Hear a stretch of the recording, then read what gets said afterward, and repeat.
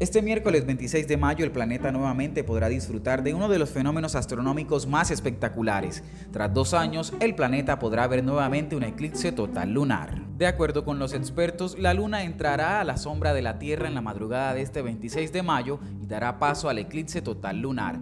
Este fenómeno ocurre porque la Tierra se interpone entre el Sol y la Luna, aunque en esta oportunidad la Luna no quedará completamente oculta, sino que se verá roja debido al reflejo de la luz. El evento se dará a las 4 y 45 am, hora colombiana.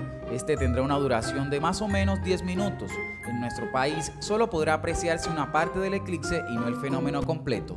Es importante decir que este fenómeno puede verse a simple vista, aunque para tener una mejor imagen puede usar binoculares o un telescopio.